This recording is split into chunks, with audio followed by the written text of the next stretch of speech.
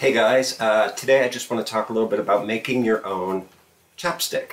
Um, it's important to keep like like your lips moisturized, especially in the winter when that cold air can like, you know, give you chapped lips. Um, so this, oops, you can purchase these little uh, chapstick tubes very inexpensively, um, or you could put it in a smaller container with a screw top lid uh, and make it as a lip balm. Um, the recipe works for both. So for this, what you're going to need to do is get some water boiling on the stove. Um, then you want shea butter. Shea butter is kind of like working with like a clay. You need one eighth cup of shea butter. You need one eighth cup of grated beeswax. You can use a small, I use small graters like this, you know, and just one eighth cup isn't much. Um, so one eighth cup of shea butter, one eighth cup of grated beeswax, and then you're just going to need one or two drops of pure vitamin E oil. That's what makes it really healthier for the skin. And this one I'm also going to add some flavor because it's chapstick. You can buy these little food flavoring bottles. I'm going to put watermelon because that seems like a good flavor for chapstick. So all you do is put, you need one of these, one of these or a double boiler or whatever because this will sit over that hot water and allow everything to cook in here without getting water in it.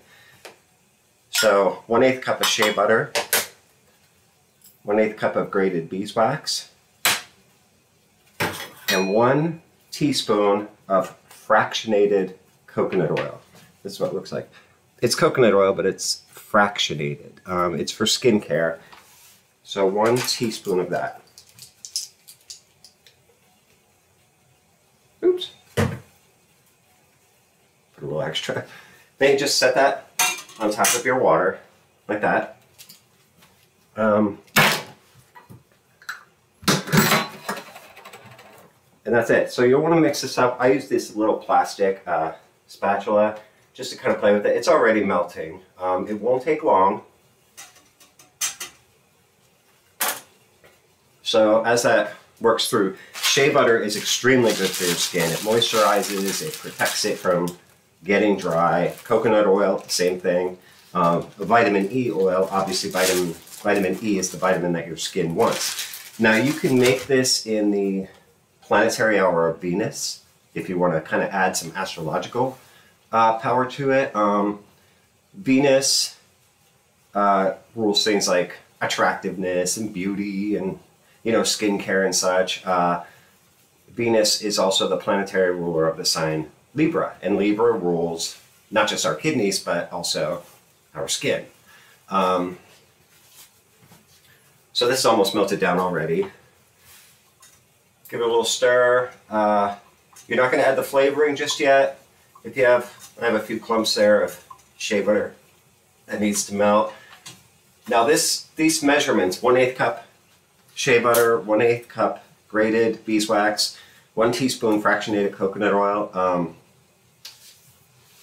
doesn't make much. It'll make, wherever I put them, oh, it'll make about two of these. And I think I put a little extra of each ingredient in, so it might make three, but right now I'm only concerned with making two. So just make sure your caps are off, because once you're done cooking this, well, we'll get to that one second. It's just about there. So it's just about there.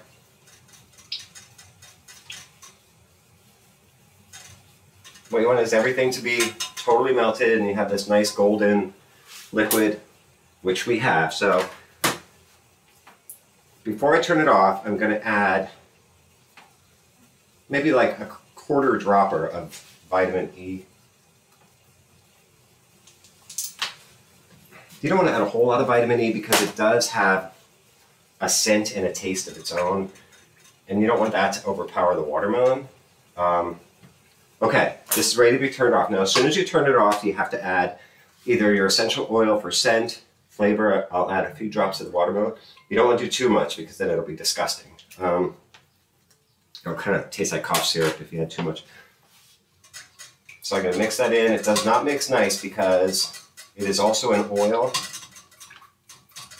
So it kind of makes it look like uh, speckled gold water. And now we want to put it into the tubes immediately because it will start to set. This is the tricky part.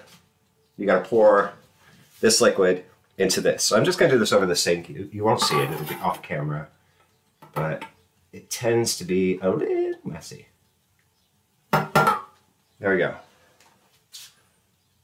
Okay, and there's enough for one more. Pour that in.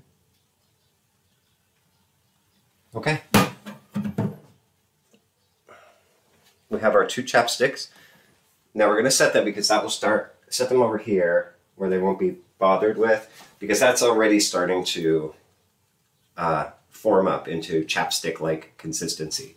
So while you're waiting for that to happen, you can clean up. Um, but there you go, very simple. Look, that took, I don't know, five minutes and we made two tubes of chapstick. So you can like double or quadruple a recipe if you make a whole bunch and like give them out as gifts or whatever, um, or just to have them on hand. Uh, they'll last a long time. So there you go. That is uh, how we make chapstick. Have a great day.